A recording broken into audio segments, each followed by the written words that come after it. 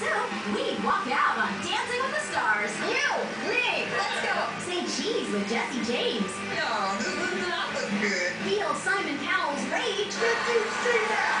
And clean out Ricky Martin's closet. Plus, Demi Lovato gives us a chance. The Hill says goodbye, and the kick-ass look of the week. Now, here's the host who watches it all for you, Joe.